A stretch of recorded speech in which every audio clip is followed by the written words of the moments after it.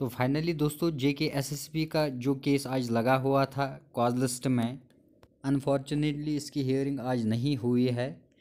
तो केस को फिर से डेफ़र किया गया है तो अब जो इसकी नेक्स्ट हियरिंग होगी, वो ट्वेंटी सेवन्थ फेबरवरी को होगी। तो यहाँ पे दोस्तों आप देख लीजिए next date twenty seventh February two zero twenty three twenty seventh को इस केस की हियरिंग फिर से डिवीज़न बेंच में होगी। तो थैंक्स फॉर